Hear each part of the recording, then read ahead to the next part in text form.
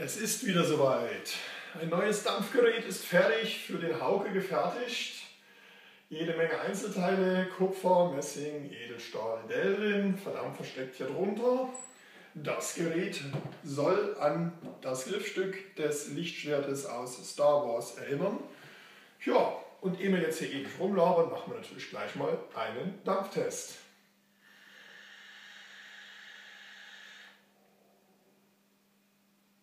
Hey.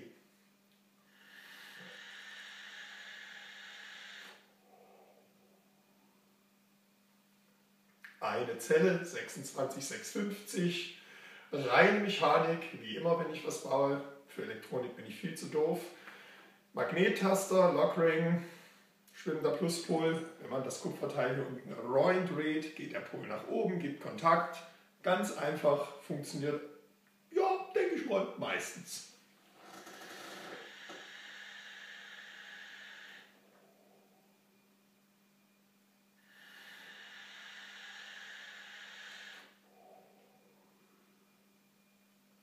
Ganz entspanntes Dampfen mit jeder Menge Leistung. Und wie heißt das Ding nochmal? Was hat der Haube gesagt? Ich glaube Cloudwalker. Genau, das ist der Name von dem Gerät.